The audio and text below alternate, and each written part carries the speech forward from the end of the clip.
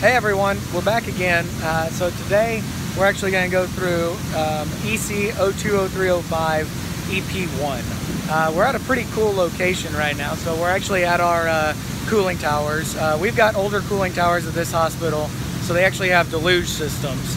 Um, so we get we're able to cover all aspects of, of EP2, which is uh, water flow, vane type water flow, pressure type water flow, tamper switches, and water motor gongs, which is a less common one. So, but because we have deluge systems, we're able to go through that. Of course, I'm here with Drew. Uh, we're keeping our distance like we're supposed to, but we're gonna go ahead and go in here and uh, see if we can show you the right way to test um, test these devices. So uh, we've got a couple of different uh, devices here. Uh, we've got an older water flow switch, and we're gonna go through how most, um, how I've seen at least, you know, most uh, inspection companies test these. So um, the, the requirement from code is that water flow switches, uh, pressure type switches, tamper switches are physically, um, they, they're physically functioned. So we're going through, instead of tripping, tripping the switch for a water flow, we have to flow water. That's the proper way to do it. And I got a great example here of one that failed. So this is an older water flow switch here. You can see we've got a, um, our paddle down here. This is a vane type. Uh, and it's actually not clicking right now. There's a plunger on the inside. Um, so most most companies will come in and if they don't have a drain, they'll just push this plunger back. And you can actually hear it here.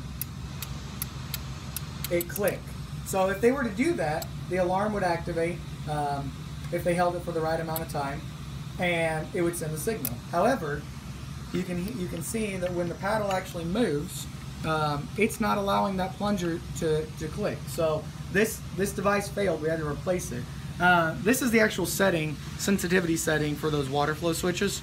Um, you can have an immediate uh, all the way to a uh, to a, you can have it delayed as well. You have up to 90 seconds by code for this to to physically go off. So we've also got a newer version here uh, that we wanted to show you. You can look at it. It's a bigger, bigger paddle because it's for a bigger pipe. Um, but you can see, you can see here and you can hear it click, right? And you can see the paddle moving.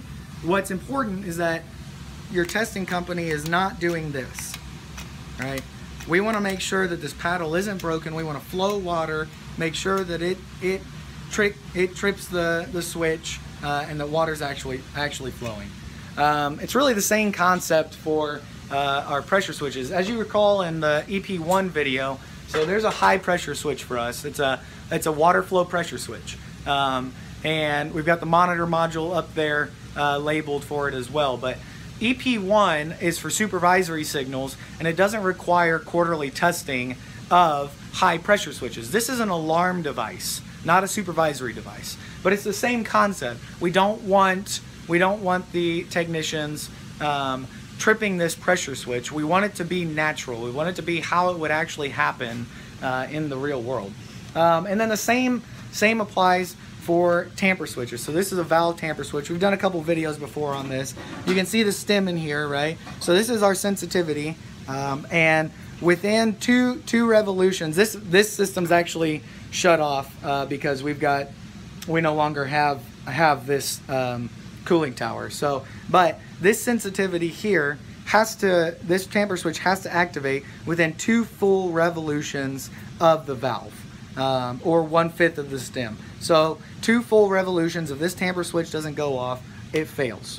So we fail it as a whole system. We fail the valve assembly and the tamper as a system. Come back and diagnose it later. Do our ILSMs and all of that.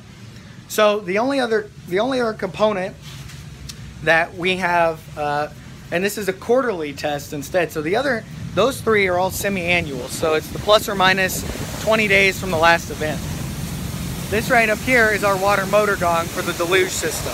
So those have to be tested on a quarterly basis. The reason why uh, they can get filled with gunk, you know, sprinkler water is is nasty.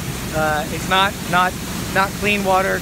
Wasps uh, get in there, um, dirt daubers, things like that can clog that up. So it's important that the, that the water motor gongs are tested on a quarterly basis. So Um, what I'll do down below in the comment section, I'll post all the code sections, the requirements, uh, so you can go and reference it. It's a combination of NFPA 25 and NFPA 72 that really push push these requirements. So uh, look forward to hearing comments and questions. Um, thanks everyone. Thanks Drew. Welcome.